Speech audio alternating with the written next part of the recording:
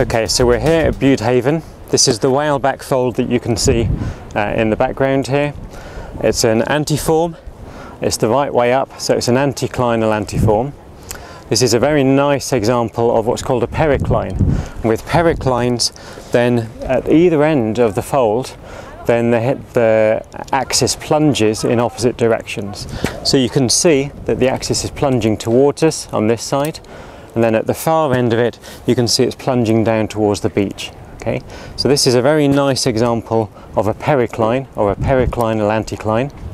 You can see also just uh, to your uh, left of the whaleback, there's another little anticline in the beach, partly covered by uh, the boulders and the pebbles and then further to the left there's another anticline and with a series of synclines connecting them. So here we have some quite complex almost ripply type folding and this is due to rather than stresses just being in one compressive stresses in just one direction there are compressive stresses in two different directions and it produces shortening in two directions and in order to accommodate that you have to have this quite complex ripply type periclinal structures.